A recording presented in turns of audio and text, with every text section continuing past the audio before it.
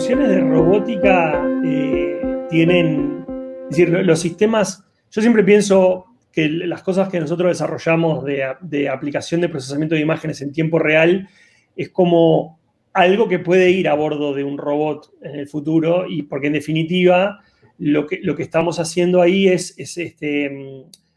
eh, dándole la inteligencia al sistema para que haga la actividad para la que fue programada.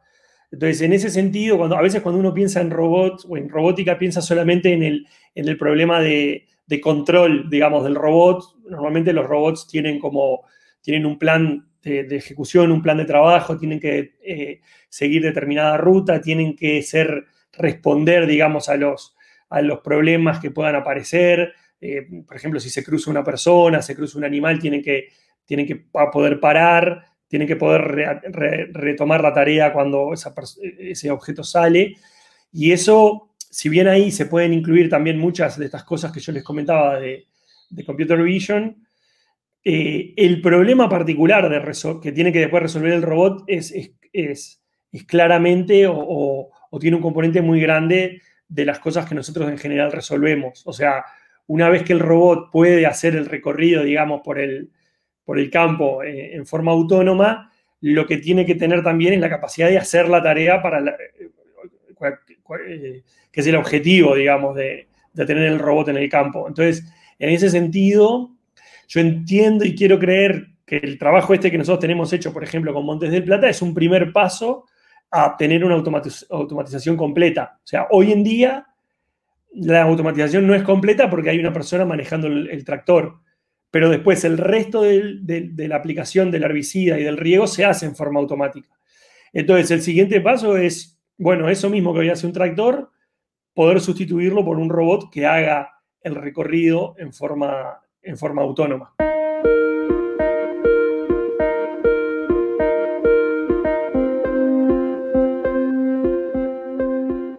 Si bien hay un interés económico por abaratar los costos, también hay un interés de preservación del ambiente, porque el método tradicional de aplicación de, por ejemplo, de riego es básicamente regar todo a lo largo, haya árbol o no haya árbol. Eso, eso entre otras cosas, es un desperdicio de agua. Eh, y obviamente es un desperdicio de tiempo y, digamos, no es un buen aprovechamiento de los recursos. Entonces, la aplicación de, agua específicamente en el lugar donde está el arbolito es, un, uso mucho mejor de, los insumos. Y lo mismo aplica a los herbicidas. O sea, poner el herbicida exactamente en un lugar donde está la, maleza que se quiere controlar es muchísimo más sano para el ambiente que aplicar herbicida en forma general en, todo, el, en todo el área, que es, es como el método tradicional. Entonces, em, sí, efectivamente, el, el, uso de tecnologías de procesamiento de imágenes, de visión por computador y, también los elementos de robótica y de, manejo autónomo contribuyen a mejorar eso. En general, por ejemplo, los, los, equipos em, pueden ser más livianos, generando un, menor este, impacto en el suelo. Entonces, eso es otra, otra ventaja de tener este, eh, em, autos autónomos este, que puedan, o vehículos autónomos que puedan resolver esas, esa la aplicación de lo mismo que, haría un ser humano, pero con, utilizando menos recursos, impactando menos en el ambiente y, este, bueno, y en general también disminuyendo los costos, que para las empresas siempre es un, siempre es un balance, ¿no? siempre es un objetivo. Eh, después, también la experiencia nuestra, eh, por ejemplo, en el, uso de imágenes satelitales para el, para el monitoreo de los suelos, en, Uruguay en particular, que es donde está desarrollado el sistema, permite que el Ministerio de Ganadería, que es quien tiene que controlar el buen uso del suelo, pueda implementar un conjunto de, un conjunto de reglas un conjunto de, bueno, un monitoreo y un conjunto incluso de sanciones si eh, determina o si logra ver que, que, en determinado lugar no se están aplicando las mejores prácticas de preservación de suelo. Ese tipo de, actividades solamente es posible hacerla cuando uno tiene un sistema automático que por lo menos genera los casos que después un, técnico, una persona tiene que analizar para hacer este, para determinar si efectivamente hay un problema o no. Porque, bueno, en el caso de Uruguay, Uruguay tiene un millón y medio de hectáreas este, plantadas con, soja y con trigo, por ejemplo, y sería imposible que, que, ese volumen se pueda analizar en forma manual. O sea, hay necesariamente que, recurrir a métodos automáticos que, disminuyen los tiempos de procesamiento y que generan una especie de clasificación eh, básica que eventualmente después puede ser revisada o no por, el, por los técnicos del ministerio para eventualmente eh, bueno, aplicar sanciones si corresponden.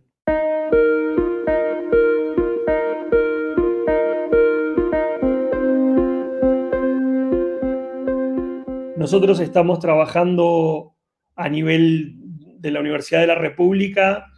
con, un programa Stick and Sud con, la Universidad de O'Higgins y con, y con la Universidad de París-Eclé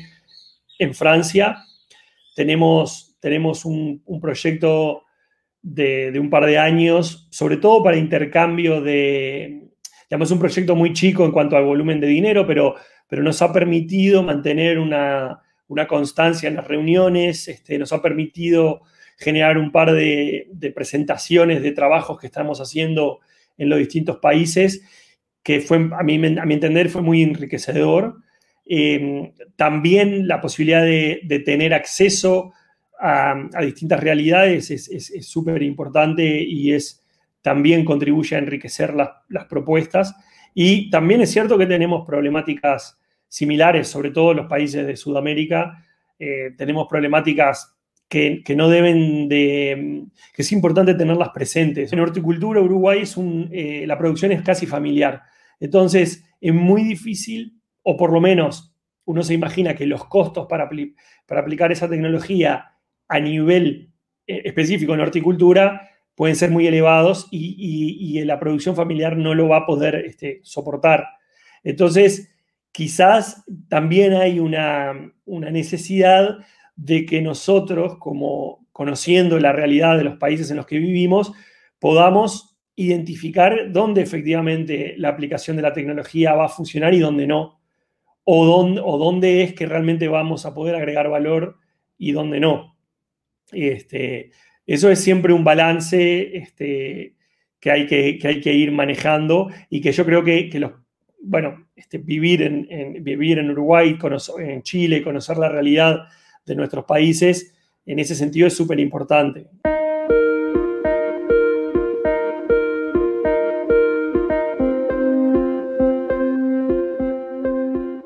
Trabajo en dos lugares, por decirlo de alguna forma. Uno es, este, eh, una empresa que tenemos de desarrollo de,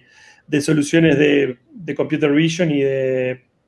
Machine Learning y procesamiento de imágenes para, distintos clientes. O sea, básicamente somos una empresa que hace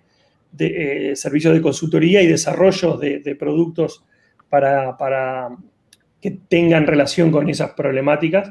Y por otro lado está mi trabajo en la Facultad de Ingeniería, donde este, mi, mi, línea de investigación está más asociada al censado remoto y al procesamiento de imágenes satelitales. Entonces, en, ese, entre esas dos cosas, yo te diría que hay un, eh, del lado de la empresa tenemos un, conjunto importante de aplicaciones de, la aplicación de visión por computador, que están muy relacionadas con, problemas este, en particular agrícolas. Eh, ahí estamos trabajando bueno, además de del, proyecto que presenté de conteo de ovejas con imágenes de drones, estamos trabajando con, una empresa um, uruguaya que se llama Montes del Plata, que es una forestal, eh, cuya hay una parte de la empresa que son los dueños de la empresa, hay una parte que es Arauco, que, es una empresa chilena de forestal, y otra parte creo que es Estora Enso de es una empresa finlandesa, entre las dos tienen este, Montes del Plata en Uruguay y, nosotros para ellos lo que estamos trabajando es un sistema de visión en tiempo real que lo que hace es detectar, eh, es, en el, es, en el, periodo en que, en que los árboles son chiquitos todavía, que hay que cuidarlos mucho. Entonces, en ese periodo hay que regarlos y hay que aplicar herbicidas para, para, que no invadan las malezas y pueda crecer normalmente el árbol. Eh, en cualquiera de, de, los dos procedimientos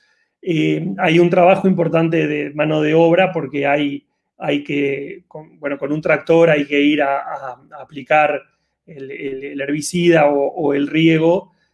intentando hacerlo donde se encuentra el, arbolito o la maleza en el caso del herbicida. Nosotros lo que, lo que hicimos fue desarrollar un prototipo, un producto,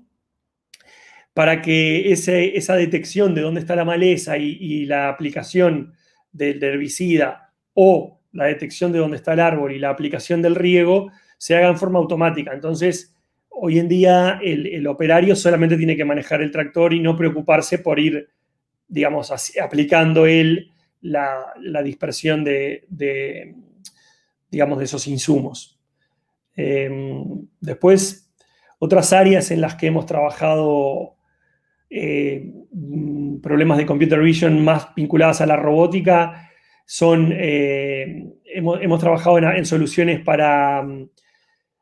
eh, integradas con otros, con, otros, este, con otros proveedores para, por ejemplo, para curtiembres y para detectar en, los cueros imperfecciones y, digamos, de, los cueros tienen, se le hace distinto tratamiento dependiendo de las imperfecciones que tengan. Entonces, el sistema lo que hace es, detectar en forma automática esas imperfecciones